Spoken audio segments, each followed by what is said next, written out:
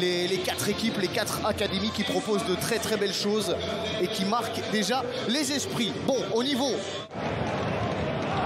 Ballon récupéré par euh, Thibaut Batten. Batten vers euh, Torrisson. Oh, il peut frapper la Torrisson, pourquoi pas?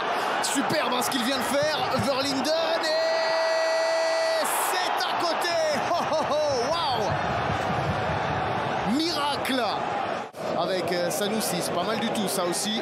On voit du bon football, on se fait plaisir en tout cas. Weymans, centre de Weymans pour Batten et attention, ça va arriver vers Verlinden. Aïe aïe aïe.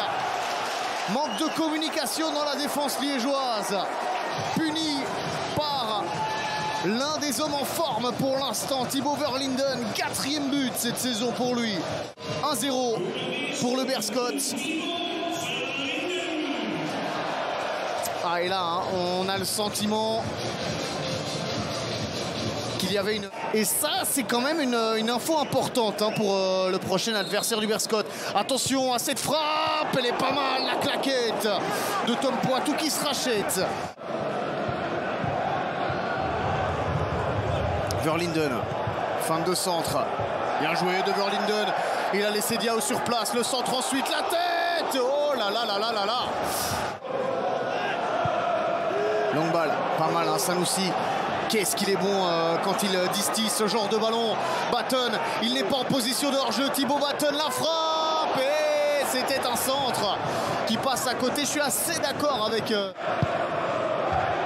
Et qui dit marqué dit buteur. Pourquoi pas mettre un Boubou Diallo? Dodaigne. Oh, il y a une bonne passe à faire vers Anis Brou. Il doit tirer Anis Brou. C'est fait Il a pris euh, le petit côté.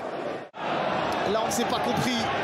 Et sur le côté gauche, donc Vittorisson qui va devoir lever la tête, trouver une solution. La frappe de nouveau repoussée par Tom Poitou. Il en a fait hein, des arrêts aujourd'hui. Tout le monde est devant, mais il n'y a pas vraiment de solution. Et regardez, on perd de nouveau le ballon un petit peu bêtement. Ça, c'est dommage. Verlinden qui va lancer Thibaut Batten. Le bon contrôle de Batten, l'enchaînement. Et ça passe à côté de nouveau. Est parti. Batten, Batten face à Nubi. Il y a une frappe possible de Vandenberg. Oh Vandenberg, c'est le poteau Mais quel match, s'il vous plaît Batten. Et puis surtout, regardez ce double contact de Jan Vandenberg qui se retrouve en position de frapper. Oh là là là là Nubi Dodaigne qui s'appuie sur euh, Ziani. Oh, il y a un bon appel de Quavita. Quavita qui va pouvoir centrer pour Diallo peut-être. Oh, ça doit être dedans ça. Et c'est un poteau. Non, toujours pas. Double poteau. Oh là là, que c'était chaud pour le standard de Liège. Oh là là là là. Cette intelligence hein, de Quavita qui ne la met pas finalement dans la course de tous les joueurs. Au milieu, ça arrive vers euh, Dodaigne. Et là, il y a de l'espace. Là, il y a de l'espace pour accélérer Galidi. Galidi qui va pouvoir envoyer peut-être sur le côté gauche Galidi. La frappe finalement de Galidi. Oh là là là là là là. Est-ce vraiment nécessaire La rouge pour euh, Quavita.